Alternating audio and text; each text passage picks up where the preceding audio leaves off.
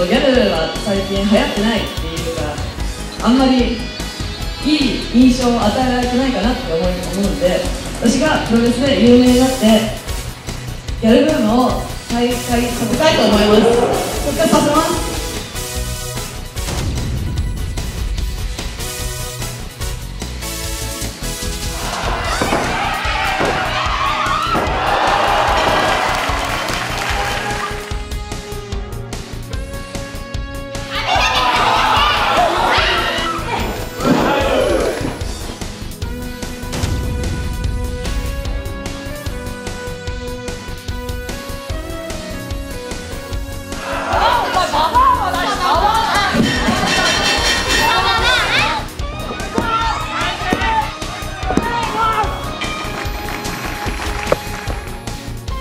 魔者もいない。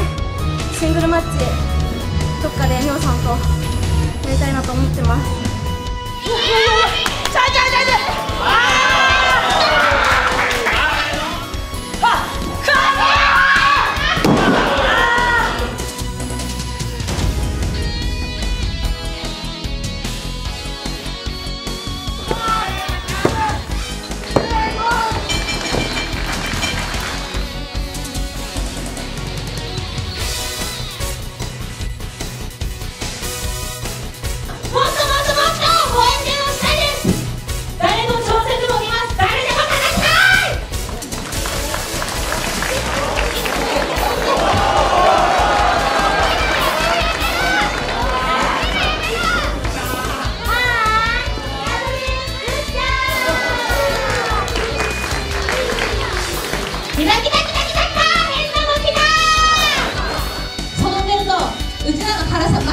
方が